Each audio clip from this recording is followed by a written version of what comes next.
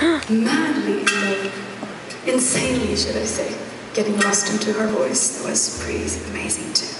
Just my dad sang great, and sometimes you think how this really happens in a lifetime for a child. How, why do you hear these voices? What do you hear when you hear these voices? Your dad sings great, your mom sings great, your grandma, and then you think you're almost listening to something that's beyond your comprehension.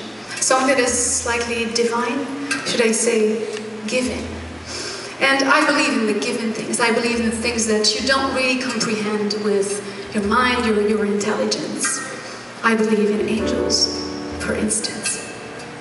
I don't really believe in the angels that we picture when we're kids, the one with the long white dresses and the wings and stuff. Not exactly those ones, but I believe in what I have called the common angel. The common angel meaning the one that at some point of our lives either we meet, either we are, either we speak to over the phone, either we don't know of, and suddenly this person passes by and changes our lives. Just imagine that conversation you've had with a stranger that totally changed the course, the path of your life. That call you received from your sister, your brother, your mother, your dad, that you absolutely did not expect, that made the difference. Or that one thing you were desperately, really searching for, and all of a sudden, out of the blue, someone gives it to you for free. That is what I call the common angel. Sarah McLachlan has written one of the most beautiful songs that invisible gift we get when we are attentive to it, when we pay attention, and then when we pay it forward. For every angel in every one of you, here's one of the most beautiful songs ever written by Sarah McLachlan.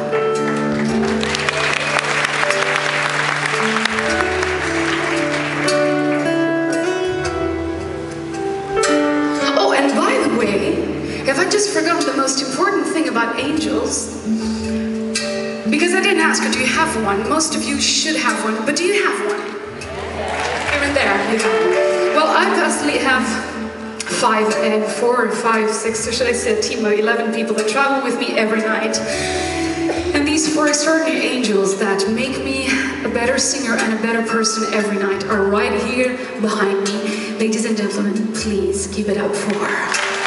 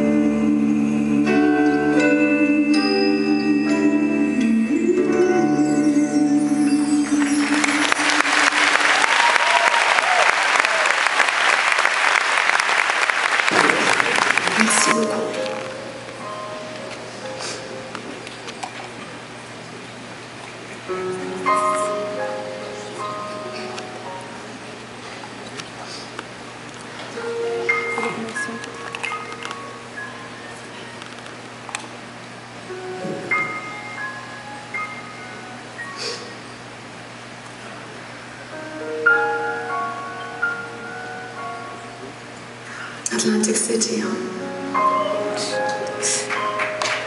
Who would tell me I would land here one night? Me? Maybe an angel? Yes. I've written a lot of songs in my life. I've written a lot of thoughts, should I say. And I've tried to understand the mystery of songwriting, and I swear I have not gone close to it yet. After 25 years, I thought at some point I would understand is there a chemistry, is there an alchemy, is there. There is a big research for the truth. And researching the truth goes with solitude. So I remember when I started writing songs at the time I was a child, I didn't really understand that. Only that I had to be alone in my bedroom and reaching out for a piano. But when the real process started and then I was free to write whatever I felt I could write. I realized that most of the time I was away from the people I loved this kind of strange solitude that I learned to love. I remember when I wrote this one specific song, I was in Sweden and felt pretty lonely and remember I remember that I started questioning, started questioning Lara, are you doing enough? Lara, are you loving enough the people you love? And then I started saying, "Hmm, I guess I could do better. I wrote this song to remember we can always do better.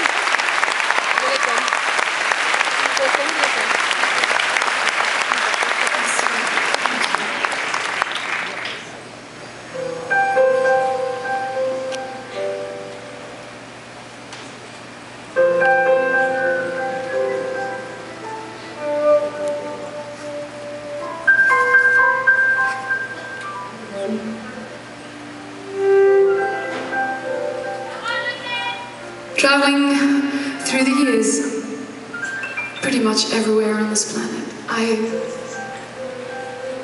I always had the feeling and the sensation that when you choose this music, this journey, it is a call. Something happens beyond what you can really understand, pragmatically understand. You think, okay, let's try to hear this call.